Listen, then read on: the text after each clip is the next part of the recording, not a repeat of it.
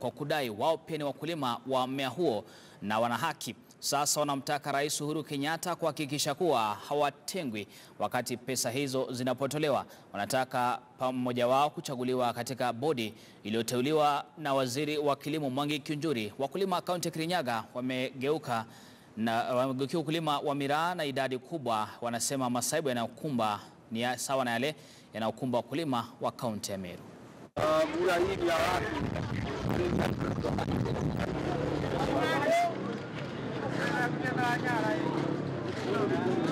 Sisi kama watu wa Kirinyaga hatujahusishwa katika ile mpango ya kugawa hizo pesa, ama hatujui jinsi tunaweza kufaidika na hizo pesa.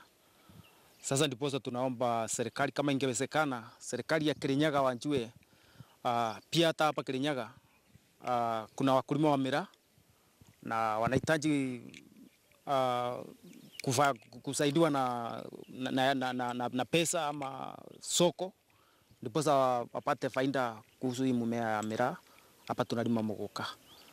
Kwa hivyo ni kuuliza viongozi wa Kirinyaga waamuke, watetee watu wao juu hatuoni kama sahi wanatutetea juu hizo pesa kama wanagawa, na tujasikia watu wa Kirinyaga wamehusishwa katika ile mpango ya kugawa.